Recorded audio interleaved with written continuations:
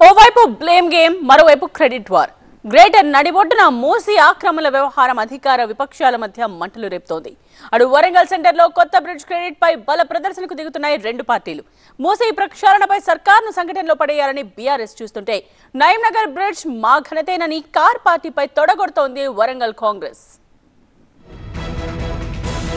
మూసీపై రాజకీయ దుమారం. సర్కారుపై బీఆర్ఎస్ పోరాటం. వరంగల్ బ్రిడ్జిపై పార్టీల సవాళ్ళు. తెలంగాణలో పొలిటికల్ హీట్. మూసి మంటలు రేపుతోంది. మూసి రివర్ బెడ్లో ఉంటున్న వారిని తరలించేందుకు ప్రభుత్వం చేస్తున్న ప్రయత్నాలపై నిర్వాసితుల నుంచి నిరసనలు వ్యక్తమవుతున్నాయి. అర్హులైన వారికి పునరావాసం కల్పిస్తామని సర్కార్ భరోసా ఇస్తున్న బీఆర్ఎస్ ఎంట్రీతో రాజకీయం రచ్చకెక్కింది బాధితులకు అండగా ఉంటామని రంగంలోకి దిగిన బీఆర్ఎస్ కాంగ్రెస్ సర్కార్ను టార్గెట్ చేస్తోంది. మరోవైపు బీజేపీ కూడా ప్రభుత్వ తీరును తప్పుపట్టింది. మూసీ పరివాహకంలో ఉంటున్న వారిని తరలించేందుకు జీహెచ్ఎంసీ అధికారులు చర్యలు చేపట్టారు. అయితే అధికారుల సర్వేపై స్థానికంగా వ్యతిరేకత ఎదురవుతోంది. బాధితులు నిరసనలకు దిగుతున్నారు. కొందరు న్యాయస్థానాల్ని ఆశ్రయించి స్టేలు తెచ్చుకుంటున్నారు. మూసీ నది ఇప్పుడు వివాదానికి సెంటర్గా మారింది. మూసీ సుందరీకరణను తప్పుబడుతున్న బీఆర్ఎస్ బాధితులతో సర్కార్ వ్యవహరిస్తున్న తీరుపై మండిపడుతోంది. బాధితులకు తాము అండగా ఉంటామని దీనికోసం తెలంగాణ భవన్ తలుపులు ఎప్పుడు తెరిచే ఉంటాయని ప్రకటించారు మాజీ మంత్రి హరీష్ రావు. మూసీ పరివాహక ప్రాంతంలో పర్యటించిన బీఆర్ఎస్ బృందం స్థానికులతో మాట్లాడి వారికి సంఘీభావం ప్రకటించింది. రేవంత్ రెడ్డిది రాతిగుండె అని విమర్శించారు హరీష్ రావు. మూసీ సుందరీకరణ ప్రాజెక్టు ఎవరికి మేలు చేసేందుకు చేపట్టారో చెప్పాలని డిమాండ్ చేశారు బీఆర్ఎస్ వర్కింగ్ ప్రెసిడెంట్ కేటీఆర్. వంద శాతం నిలబడతామయ్యా. ఎవరి కోసం మూసీ సుందరీకరణ? పేదల కన్నీళ్ళ మీద మూసీ ప్రాజెక్ట్ కడతావా?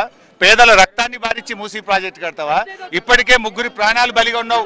ఈ హైడ్రా డ్రామా పేరు మీద ఈ మూసీ పేరు మీద మూడు ప్రాణాలు పోయినాయి. ఇంకెన్ని ప్రాణాలు పోవాలి?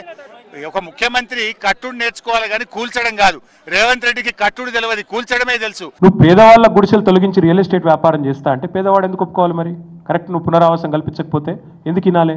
ఫస్ట్ ప్రభుత్వం చెప్పండి మీ ప్రాధాన్యం ఏంటి? మీరు ఇచ్చిన గ్యారంటీలు అమలా? లేకపోతే ఈ షోకులు ఈ షోపుట ప్రాజెక్టుల? దీనివల్ల ఎవరికి లాభం? నా ఇష్టం ఉన్నట్టు నేను చేస్తా అంటే మాత్రం ఖచ్చితంగా వదిలిపెట్టాం. ఓ పక్క విపక్ష పార్టీ మూసీ ప్రక్షాళనపై మండిపడుతుంటే దానం నాగేందర్ వ్యాఖ్యలు అధికార పార్టీలో హాట్ టాపిక్గా మారాయి. స్లంల జోలికి వెళ్ళకూడదని తాను ముందే చెప్పానంటున్నారు దానం. మూసీ నిర్వాసితులకు కౌన్సిలింగ్ ఇవ్వాల్సిందని ప్రత్యామ్నాయ ఏర్పాట్లు చేశాకే ఖాళీ చేయాల్సిందని అన్నారు. ఇళ్ళకు రెడ్ మార్క్ సర్వే తొందరపాటు చేయలేనని అభిప్రాయపడ్డారు దానం. చిన్న చిన్న ఘటనలు ప్రభుత్వానికి చెడ్డ పేరు తెస్తాయన్న దానం బీఆర్ఎస్ ఈ అంశంలో రెచ్చగొట్టేలా వ్యవహరిస్తోందన్నారు. ఇదే కేసీఆర్ గారు. స్టేట్మెంట్ కావాలంటే నేను తీసి చూపిస్తాను ఇప్పుడు నా దగ్గర ఉంది. నాలాలపై నిర్దాక్షిణ్యంగా నేను ఇప్పుడే చూపిస్తాను మీకు. నిర్దాక్షిణ్యంగా కూల్చేయండి ఎవడు అడ్డు వచ్చినా వాడు ఎమ్మెల్యే ఉండని ఎంపీ ఉండని మంత్రి ఉండని కార్పొరేటర్ ఉండని ఇంకెవడని ఉండని నాలాల మీద ఉన్న ప్రతి గుడిసె తీసి పడేయండి అని చెప్పాను. అప్పుడు ఒక మాట ఇప్పుడు ఒక మాట చెప్తున్నారు. ప్రభుత్వం కూడా ప్రజల పక్షాన ఉంది పేద ప్రజల పక్షాన ఉంది. ఎవరైతే ఇరవై సంవత్సరాల నుంచి అక్కడే ఉన్నారో వాళ్ళకు అక్కడే పునర్వాసం కల్పించాలని నేను కూడా ముఖ్యమంత్రి గారికి వినత పత్రం ఈ ప్రజల తరఫున ఇస్తాను. దానం లాంటి నేతలు ప్రభుత్వాన్ని డిఫెన్స్లో పడేస్తే మూసీని కబ్జా చేసిందే బీఆర్ఎస్ నేతలంటున్నారు టీపీసీసీ చీఫ్ మహేష్ కుమార్ గౌడ్. వరదలతో కేసీఆర్ కేటీఆర్ ఇంట్లో చెత్త పేరుకుపోతే చూస్తూ ఊరుకుంటారా అని ప్రశ్నించారు. వయనాడ్ విలయం కళ్ళెదుట కనిపిస్తోందని మూసీ వరదతో హైదరాబాద్ మునిగిపోతే పరిస్థితి ఏంటని ప్రశ్నించారు. సోషల్ మీడియాలో బీఆర్ఎస్ దుష్ప్రచారం చేస్తోందన్నారు టీపీసీసీ చీఫ్. మూసీలో ఏ బీదవాని గుడిసె తొలగింపు గురిగాలేదు ఆ ఉద్దేశం కూడా ప్రభుత్వానికి లేదు. మూసీని ప్రక్షాళన చేయాల్సిన అవసరం ఉందా లేదా ప్రజలు ఒకసారి ఆలోచించుకోవాలి. మూసీ మార్కింగ్స్ని బీఆర్ఎస్ పొలిటికల్ ఇష్యూగా తీసుకుంటే మరోవైపు బీజేపీ కూడా ఈ అంశంపై ప్రభుత్వాన్ని టార్గెట్ చేసింది. ఏదో మార్పు తెస్తారని ప్రజలు కాంగ్రెస్ పార్టీకి అధికారం ఇస్తే ప్రజలను గోస పెడుతున్నారని ఆగ్రహం వ్యక్తం చేశారు కేంద్ర మంత్రి బండి సంజయ్.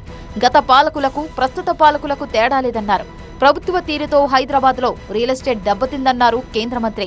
అందరు ఇప్పుడు కష్టపడి ఏదో కూలీనాలు చేసుకోవడం ప్రైవేట్ చిన్న చిన్న ఉద్యోగాలు చేసుకోవడం ఇక స్థిరపడదామని వచ్చిన తప్ప ఎవరు దాని పరిశ్రమలు ఇవ్వలేరు అలా ఇక దానివల్ల ఏమైంది అలా పూర్తిగా హైదరాబాద్లో తెలంగాణ రాష్ట్రంలో రియల్ ఎస్టేట్ వ్యాపారం మొత్తం దెబ్బతింది. వేరే కంపెనీస్ ఇవి కూడా వచ్చే పరిస్థితి లేదు ఇక మొత్తం రియల్ ఎస్టేట్ వ్యాపారం మొత్తం దెబ్బతిన్నది. హైదరాబాద్లో మూసీపై రాజకీయ రగడ నడుస్తుంటే అటు వరంగల్లో కూడా కాంగ్రెస్ బీఆర్ఎస్ బస్తీమే సవాలంటున్నాయి. నయీం నగర్ బ్రిడ్జి తమ హయాంలోనే నిర్మించామని బీఆర్ఎస్ వర్కింగ్ ప్రెసిడెంట్ కేటీఆర్ చేసిన వ్యాఖ్యలతో రాజకీయ రచ్చరాజుకుందాయి. కేటీఆర్ వ్యాఖ్యలపై కాంగ్రెస్ ఎమ్మెల్యే నాయని రాజేందర్ రెడ్డి తీవ్ర అభ్యంతరం వ్యక్తం చేశారు. బ్రిడ్జి నిర్మాణం విషయంలో బహిరంగ చర్చకు రావాలని సవాల్ విసిరారు. బీఆర్ఎస్ హయాంలోనే బ్రిడ్జి కట్టినట్టు ఒక్కరితో అయినా చెప్పించగలరా అని సవాల్ చేశారు. నిన్నటి నాయని సవాల్తో ఇవాళ బీఆర్ఎస్ నేతలు నయీం నగర్ బ్రిడ్జి దగ్గరికి రావడంతో నినాదాలు సవాళ్ళతో ఆ ప్రాంతం మారుమోగిపోయింది.